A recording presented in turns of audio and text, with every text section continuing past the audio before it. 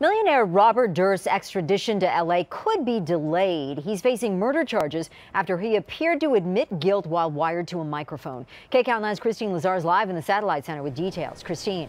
Sylvia, a handgun was found in Durst's hotel room in New Orleans, according to the police report. So his attorney says he could face separate charges there before he heads back to Los Angeles to face murder charges. A shocking confession. There it is. Your court.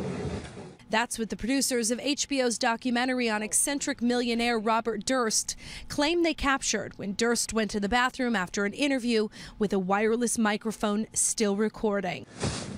What the hell did I Kill them all. Of course.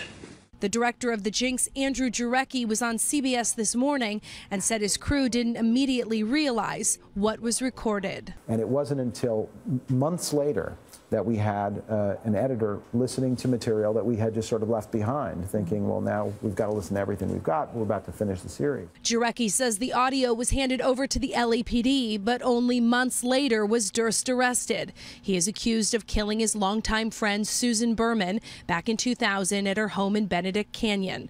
Berman was going to be interviewed by police about the 1982 disappearance of Durst's wife, Kathleen. Durst was arrested in New Orleans on Saturday, one day before the season finale of The Jinx. Outside a Louisiana courtroom this morning, Durst's attorney spoke to reporters. Uh, we uh, came here to uh, waive jurisdiction and to go back to California and to get it on. Bob Durst didn't kill Susan Berman. He's ready to end all the rumor and speculation and have a trial.